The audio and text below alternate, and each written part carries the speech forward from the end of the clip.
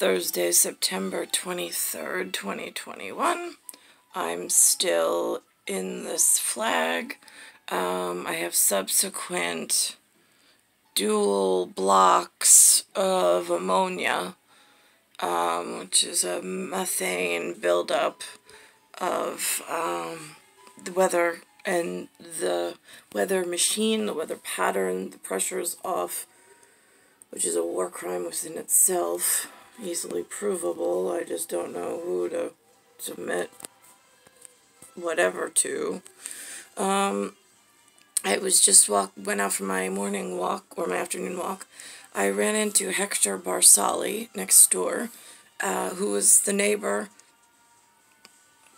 uh, when my grandfather uh, was here. It was Aldo, and then it passed on to Hector. Hector's a little younger than my my or he's, no, he's a little older than my father, believe it or not. Um, and then uh, Enovan. He's in the U.S. Coast Guard. Uh, and then the uh, Miguel, who's upstairs, who was in the Navy. So they got to speaking, which was nice.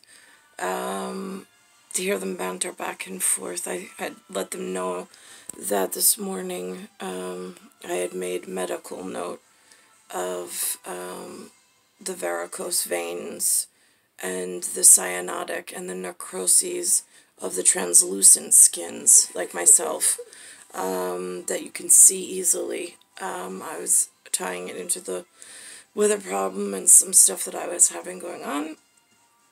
Um, and so uh, when Miguel went back upstairs. Apparently, he's got uh, Miguel has three accommodations. He said in a letter from Bill Clinton, which I said, could you just, you know, I didn't want to. I mean, again, I don't know how to be a receiver of this kind of information, but I am like, I know that sounds important, and I know it is important, but what does it mean?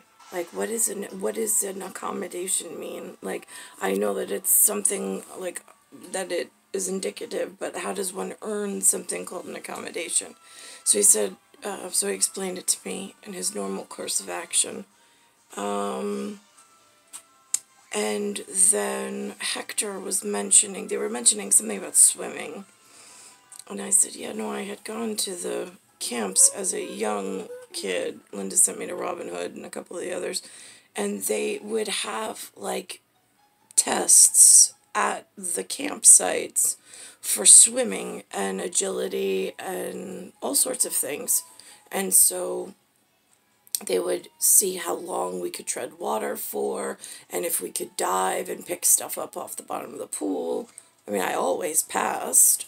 Um, and they had the parents there um, to be witness, I suppose, um, that the testing was going on.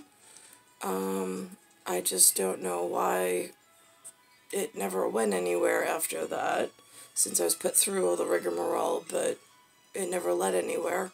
Um, Hector was saying that you had for Coast Guard, uh, and that you, Coast Guard, that he said that they made sure that you could swim. Navy, um, Miguel said that swimming was not a requirement, that one of the ships sank.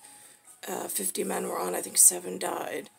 Um, and then he also said something about that they sunk. He he was on a ship called the Independence, and it sunk, which is interesting considering my. I thought my my aunt Judy mentioned Bobby was my uncle Bobby. I don't know if Cliffy was on the Independence too, but Bobby was on the Independence at some point um, but I got confirmation from Miguel that they sunk it, and the the reason he gave her, he said it was too old.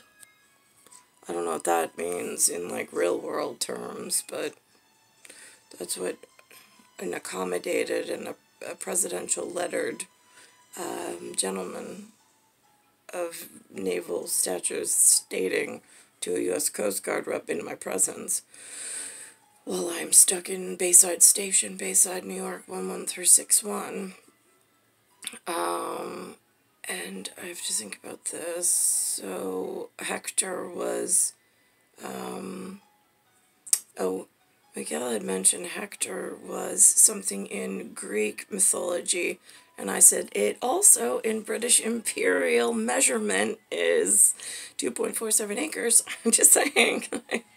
and so I took my umbrella and went for a walk. Uh, so that happened. And oh, Hector was saying that when they had to get up on the 16 foot platform and walk out to the edge, and not only did you have the 16 feet above water and then stand there with your own height, but then you looked through the clear water all the way to the bottom of the pool, and then whatever that depth was, um, he said, so you didn't realize it. He said, but it added to the fear being not just from the height of the diving board or the height of the, I guess, platform to the surface water, but then to be able to look all the way through, it added um,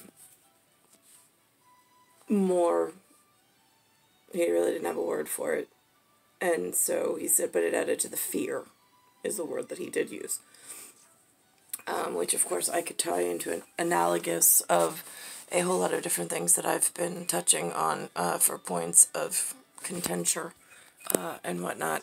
But as Miguel left, he said, um, Mr. Hector, and Hector's like, no, that's my first name. And he says, yes, no, I know. He says, but we drink from the same water and the, um, and eat the same fish.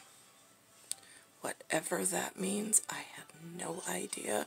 In crude, raw, what sayings, I suppose. Um, but that's just what's going on.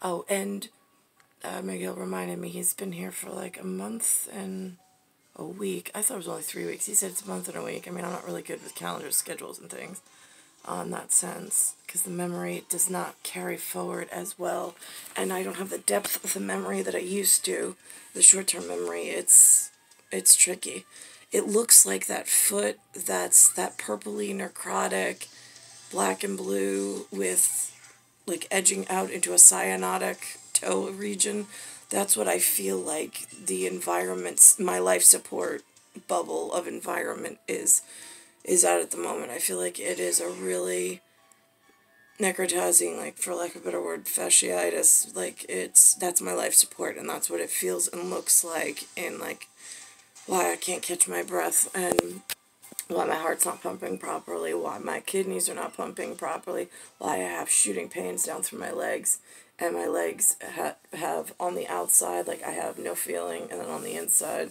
sometimes there's feeling but swollen. I get a whole bunch of different things. But again, it's all environmental pressure points um, and whatever they're doing at the weather machine and weather pattern dangerously in analytics and statistics and taking all the wrong things in all the wrong places and directions. Um, now, the sinking of the independence. I mean, in real world, I don't know what it means. I know it was written um, that if that happens, now is that their health v- vassal?